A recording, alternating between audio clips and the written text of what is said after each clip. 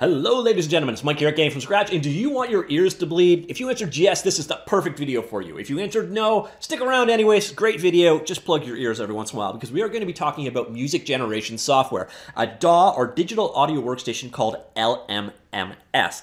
Now, this is a world I don't get into much on Game From Scratch. I cover all aspects of game development, but not much on music. And the reason is I am tone deaf as hell. So I'm going to be generating some terrible, terrible music in this video. But I am also going to showcase you some of the most popular, probably the most popular cross-platform digital audio um, workstation software out there, LMMS. Now, if you're interested, it's available at LM ms.io. That name gets harder and harder to say every single time you say it, by the way. Um, now, it used to stand for Linux Multimedia Studio. This is a competitor to programs such as FL Studio, um, and this one eh, it's no longer LMMS as Linux Multimedia Studio because it's no longer just on Linux. So now it is also available for Windows and Mac OS. So technically it should now be called LWMM MS, which is even harder to say. The cool thing is, once again, this is an open source project. It is available under the GPL2 license. That doesn't mean a damn thing to you if you're using this product as an end user. If you're looking to modify the source code, look into that. There's some caveats with the GPL license. But to an end user, this is basically, you can just think of it as free software. So let us jump in and take a look at this free software. So here we go. This is LMMS. This is what you get when you first launch it. It is very scary. It's a daunting program, but it's actually not that bad once you start figuring out what's going on here. So first things first, let's look at the song editor. This is where your song begins life. Let's actually get rid of the other things. We can get them back easily enough if we need them. So this guy here, this is the heart blood of your program. What you've got going on here is various different tracks you put together over a timeline, and this is where your music comes from. Now let's make this a little bit simpler. First off, I'm gonna go back to that windowed approach, and we're gonna get rid of these things. So we got an oscillator track. I don't even wanna cover that. There's a sample track. I don't wanna cover that either. Unautomated track, don't want to cover that right now either, so we're going to stick with just a beat or bass line. Everyone understands a beat or a bass line, so we're going to just click right here, and then boom. So here you see we've got the bass line uh, the beat bass line editor up right now. And you can have multiples, by the way, and you can switch between them right here. So if I dropped in another beat or bass line, we'd switch between them in this editor window right at the top there. And what we've got in this beat or a bass line is a kicker drum. You know a kicker drum, if you've ever experienced one, let's put one in. So we're gonna put a beat in in our pattern and press play. So there you go. Let me just turn my own end up so I can slightly hear it. And then drop a couple more in. Not really that exciting, but bump, bump, bump, bump. Boom, boom, boom, boom. Now we can actually go ahead and play with that kicker setting. So we'll just click it here, and you see we start getting even more complexity going on here. We got a nice little keyboard we can preview different sounds with. We can switch out how that guy is going to sound. So we can change up frequency. We can add some distortion to it. And now play. So now you're seeing our bass line is sounding substantially different than where we started. And there we go, beginning of ear bleeding begins now. So now we're gonna have it actually in our song. So we're gonna have this much time worth of that bass line playing. So there you see, it's just gonna kind of keep going. All right, perfect. So there we have a beat bass line for our song. And again, we could keep adding more and more and more of them. We could also, again, at any time, open it back up and edit it. We can also add other aspects to our beat or our bass line. You see over here, we got a bunch of stuff kind of hidden down the side here. Here are our instruments. We're gonna get back to that in a second. And here you've got uh, various different projects. I'll show you a more complex example, something that doesn't make your ear bleed later on. But what we've got here is really awesome. This is your samples. This is stuff, various different things we can work with. So we've got, say, drum samples. If you click on something and hold it down, you can hear it so there we go. We got a nice clap. Let's just drag the clap over here. And now we have it as a secondary on our beat or our bass line. So let's go ahead and add it at different interviews, so, uh, intervals. So there we go. Now we got a couple of claps going on in our bass line. So you don't like that frequency, let's lower it down. So we've just got two claps.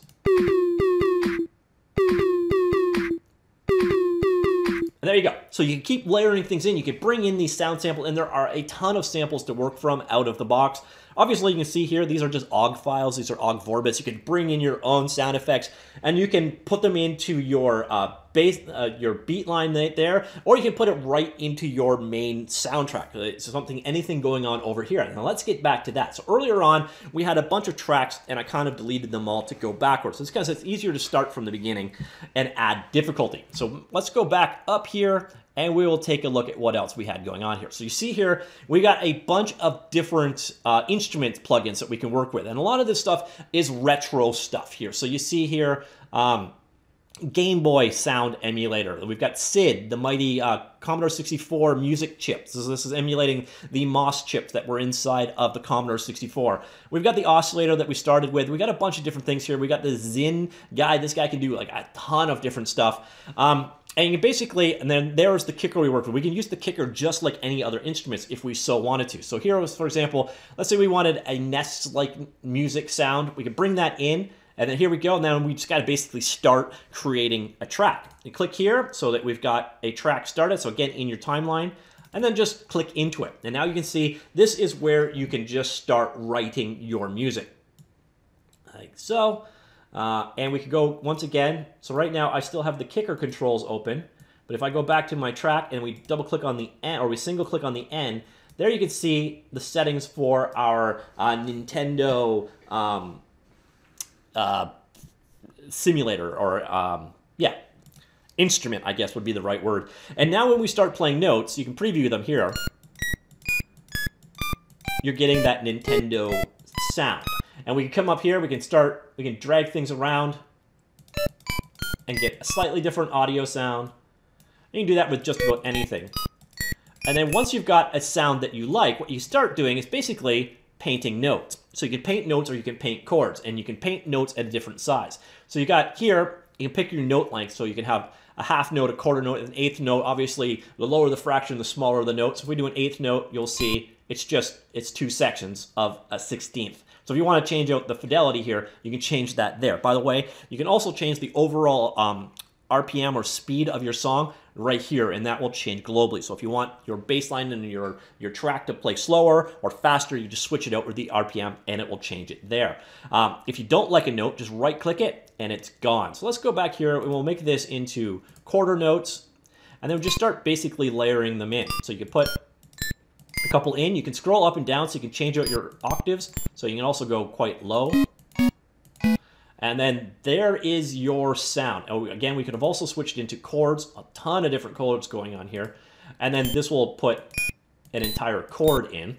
And then when you, you want to go ahead, you can check out what it sounds like.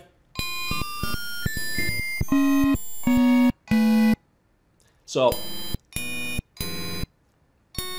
I did warn you about the ear bleeding. Sorry about that. So there we go. We've just created a very simple track. And then you can see the duration of the track is there. So if we want our, our drum beat to be the same length, just kind of match it out like so. And there you go. I'm so sorry for your ears. But you see, we got our drum beat, our clapping, and we got our NES music going on in the front. And that's kind of it. You basically just keep layering in complexity as you want it. You want to make it more and more detailed. You can do so. Also, at the same time, we come back down here. Okay, that's just my file system. But here, we've got a ton of different presets. So if we wanted a SID prefix for someone else has already done the work, we can have their configuration. Um, so then if we, we could actually literally copy and paste this guy this, these notes out and down into this guy, um, or we could just start authoring here and here we're using NADMINE's pre-configured settings. So when you start working on it, you've got a bunch of pre-configured settings that you can work from here. And most of the instruments we saw there, uh, such as the NES, the Nescaline right here, we've got um, all automatically set up. So they've done, they've made the configurations over here for you, uh, which is really quite cool. Now, I'm not going to make you guys bleed anymore, so I'll get rid of I'll get rid of all of the stuff that I've created so far, except for our lovely beat and bass line, and I'm going to show you another kind of interesting track, and that's the automation track. So come here, you'll see you've got various different options here. So bass, uh, the sampling, and then we got automation. Now, automation is kind of confusing at first, so let's go back to our beat. And you'll notice here, when we were looking at stuff, all kinds of stuff, there's all kinds of these knobs around. And what you can do with an automation track is basically control those things over time. And the simplest way I can kind of illustrate this is like volume. So what I'm going to do, we've got our automation track right here. Oops. So let's make the automation track match the duration of our thing. And what I could do is just hold down the control. You'll see hold down control with a with a um, a knob, and that's literally what it says, by the way, if you explain it all the way.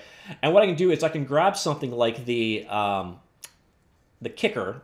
So here I'll go ahead, grab the kicker, hold down control, and I can bring in the volume setting and then into here. So now with the automation track, I just go ahead and select it, and this gives us control over the volume as we progress through. So what I can do is basically change and then make things really quiet. So now what that's ultimately doing is controlling that knob as time elapses. So you can set up as many automation tracks as you want to control any of the settings for any of the things. So if we wanted to control the frequency slope of this guy using a, graph like this, you can do so as well. You've also got control over the smoothness of the graphs. Um, and, you know, if you just want to change things out, you can basically just, so we're going to make things really quiet here. And then you're seeing the result, and then we're going to make it quite loud again, like so. And stop. So it's going to drop off in volume, and then it'll pick right back up in volume. And you can do this for any of the um, the knobs of the sliders you see anywhere. That's what an automation track is all about, automating the settings of uh, an instrument or um, a track over time. All right, so that is that. The only final thing to really kind of showcase here, um, go back over here, there is a ton to this program. Again, I, I'm just sort of skating over the surface to show you what is possible and how the tool works. I, I can't show you how to make things sound good because, again, that is beyond my particular skill set. Uh, but, all right, let's get rid of our automation track. And I'm going to bring in one more option, and that is this guy. So Vestige. We're bringing in a Vestige track. And now what Vestige is, is a VST, or um, oh, I forget exactly what it stands for, Virtual Sound Technology or something like that. This is a standard interchange format for um, instruments. Now, unfortunately, it only works under Wine and under uh, Windows 32. It, it, does not work on Mac. Um, but if you've got a VST plugin, which thankfully I do, I have one here for guitars. Let's just go ahead and showcase it. So they are under Steinberg VST plugins. And here we go.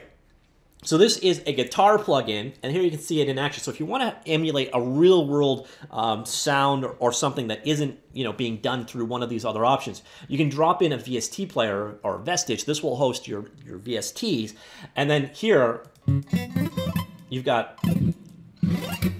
a guitar. Now this is a freebie version of it, but even then, the free version of it has a staggering amount of settings. And once again, you can control these settings uh, using automation. You can use guitar tab if you so wish, go back to strumming or main like so, or you can completely ignore this user interface whatsoever. So here you can say, you know, turn off or, sh or show the inst and then so now we have this guitar track going on. We can just come in here, just like before, open the piano roll, switch into, yeah, chords are fine. And then we just basically, we got a guitar. So start dropping a few chords in, so make sure we're in edit mode, like so. And also keep in mind that the length matters. Also down here, the volume matters, or the velocity. So now, boom. There, very simple guitar playing. And again, we can overlap notes make a more complex sound. Again, I have no musical talent whatsoever, but if you want to tap into the world of VSTs, there are a kabillion of them. So you're gonna notice out of the box, a lot of LMMS is about retro um, audio formats and, you know, throwbacks and so things like again, emulating the sounds from a Game Boy or a NES or a Commodore 64. So if that's the sound you're going for, it's great and it's an option. But if you want to come in here and get like authentic sounding um, instruments, you can also bring in VST files like we just saw there. You've also got um, options for bringing in things like uh, Gravis Ultrasound, an old school um, uh, sound card. You can bring in Gus files. Uh, you can bring in various different other files there. You can bring in mallets for things to bang on. Uh, there's a bunch of different plugins to play around with. We also have access to SFXR. This is one of those things I actually showcased on my channel in the past. And you got a ton of different options for SFXR as well. So, and then once again, if you don't like any of the stuff we're working with, you can come back here and grab in uh, presets. Where'd the presets go? Presets presets are all available here, so you can get a nice pre-configured, good sounding audio as opposed to the crap that I've been working with. So if you're working, so not everything has it. So you'll notice the SFXR that we're in right now, it currently doesn't have presets, but uh, a lot of the things that we were working with definitely do. So if, if you want to start off and you want to get a neat sound, but you can't make anything work, maybe check out the presets. A good place to go from there. So the cool thing is this thing loads with presets, also a ton of samples. So if you want, um, various guitar sounds, drum sounds, uh, you know, in your loops you can work with. You've got a ton of different stuff to work with here. Again, just hold down your left mouse button to actually hear a preview of it. And that's about it. Now, finally, and if you're just starting off, what you probably want to do is come to this first tab right here, My Projects. And when you save your project, it'll be shown here, but you'll notice there are a ton of actual samples to get you started. Now, I'm hesitant to actually play any of these because I don't know what copyright status is or anything like that, and YouTube is a weird beast. But as you can see, they've set up much more complex, and some of these, you know, scroll for miles and miles and miles.